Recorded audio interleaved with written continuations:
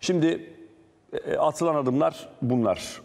Sokakta İsveç hükümeti kendileri de söylüyor, başbakan da diyor bizim NATO sürecimizi provoke etmeye yönelik, sabote etmeye yönelik bir eylem bu diye. Ama e, bunlar oluyor İsveç'te hala ve çözülebilmiş değil. Biraz konuşalım istiyoruz. Bu iş nereye gider, ne olur, ne biter diye Profesör Doktor Hüseyin Bağcı ile ana haberde konuğumuz. Hocam hoş geldiniz. Teşekkür ediyorum. Ee, önce şeyle başlayalım isterseniz. Bu dün terör örgütü PKK'nın gösterisiyle e, ne yapılabilir? Başbakan da tepki gösterdi. Bir kriz olarak değerlendiriyor musunuz siz? Bu arada diplomatik anlamda dün Büyükelçi Dışişleri Bakanlığı'na çağrıldı. Evet, bu bir diplomatik kriz tabii. Özellikle e, Türkiye, Finlandiya ve İsveç'in e, NATO nezdinde imzaladıkları anlaşmanın e, uygulanmamasının bir sonucu olarak ortaya çıktı. Her ne kadar yeni e, hükümet, Başbakanı ve Dışişleri Bakanı Türkiye'ye yönelik hem olumlu açıklamalarda bulunsalar hem de Dışişleri Bakanlarının e, çok kısa bir süre önce Ankara ziyaretinde de e, bir takım sözleri vermesine rağmen e, PKK'nın ve YPG'nin böyle bir gösteriye başlamaları ve bunun İsveç'in merkezinde olması İsveç Başbakanı'nı da aklı çıkaran bir sonucu beraberinde getiriyor. Gerçekten de PKK'nın bu hareketleri tabii ki İsveç'in NATO'ya girmesini engelleyecek. Neden engelleyecek? Çünkü Türkiye'nin talepleri içerisinde hem terör tanımının yeniden gündeme gelmesi hem de İsveç'in vermiş olduğu sözler var. Biz bunları sona erdireceğiz diye. Şimdi burada İsveç yargısıyla İsveç hükümeti arasında nasıl bir e, anlaşmazlık var? Bu ayrı bir dava. Bu onların sorunu niteliğine dönüştü. Ama Türkiye'nin elinde e, İsveç'in NATO'ya girmesi için bir e, e, deyim yerindeyse kırbacı var, tokmağı var. Yani Türkiye onay vermeden e, İsveç'in NATO'ya üye olması söz konusu değil. Şimdi bu e, İsveç-Finlandiya e, ikilisinin de tabii e, zorlukla karşılaşacağının bir göstergesi. Çünkü Finlandiya'da diyor ki biz birlikte müracaat ettik, birlikte e, girmek istiyoruz. Bu durumda e, NATO Genel Sekreterinin Brüksel'de bir üçlü e, yeni zirve e, yapma önerisini zaten Dışişleri Bakanı gördüğüm kadarıyla e, kabul etti yaptığı açıklamadan.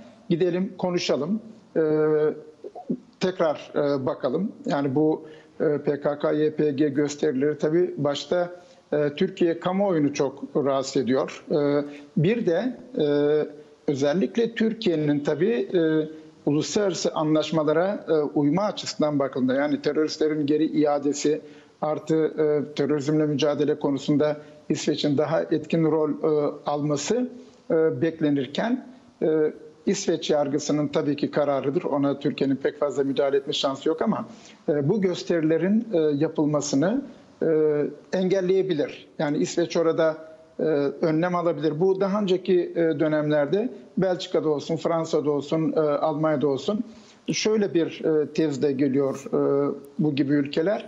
Bizim kendi iç e, kamu düzenimizi bozmadığı müddetçe biz her türlü gösteriye izin veririz. Önemli olan onların kendi kamu düzenlerine zarar e, vermemesi şeklinde bir açıklama. Oysa Türkiye'nin e, tabii ki burada beklentisi e, İsveç'in vermiş olduğu sözlere e, uyması yani taahhüt ettiği koşulları yerine getirmesi. Şimdi bu noktadan sonra bu sonuç, bu durum nasıl çözülebilir sorusu, ne kadar devam edebilir bu e, e, durum? E, öyle gözüküyor ki PKK-YPG evet e, İsveç hükümetini bunu çok e, belki bilerek e, söylediğimi ifade etmek isteyeyim. İsveç hükümetini bir nevi e, tutsa kaldı. Yani bu gibi hareketlerin e, İsveç'in işini zorlaştıracağını bildikleri için bunu yapıyorlar. Ya yani bu e, daha önceki e, dönemlerde de değişik ülkelerde olan bir e, durum. Ama bu İsveç'in sorunu. Yani İsveçler nasıl bir anayasal değişikliğe giderler, hükümet nasıl bir e, karar alır onu bilemiyoruz. Ben aslında yaptılar anayasayı değiştirdiler, terörle mücadele yasasını değiştirdiler.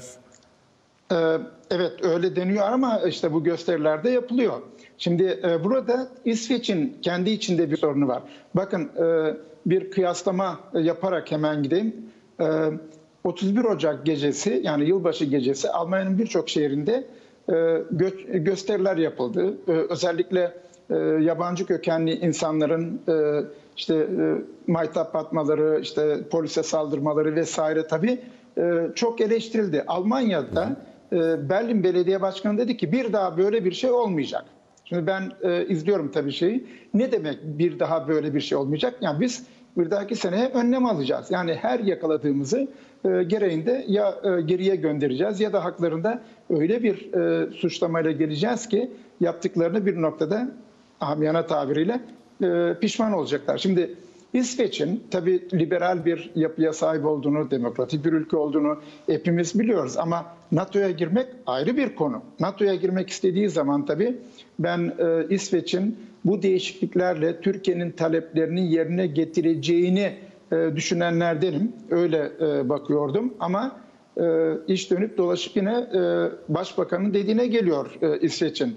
Yani PKK ve e, YPG'nin bu hareketleri Türkiye'yi de zor duruma e, sokuyor ve e, onay verdiği takdirde bu sefer e, tabii e, İsveç'in Türkiye'den büyük taviz kopardığı yönünde bir yaygara yapılacak. O nedenle e, bugün e, ben dikkatli izledim tabii Dışişleri Bakanı'nın açıklamalarını. Evet. E, çok temkinli konuştu. Nefret suçu gibi kavramları kullandı. Bunlar Türkiye'nin çok fazla kullandığı kavramlar değildir resmi söylemde.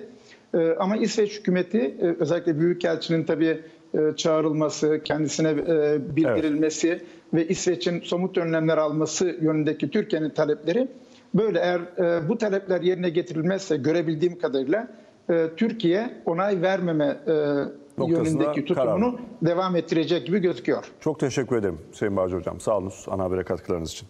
İyi yayınlar diliyorum.